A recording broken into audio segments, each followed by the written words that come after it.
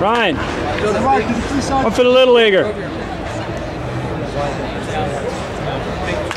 The guy was coming. He had a Salvation Army thing. So this is the Salvation Army.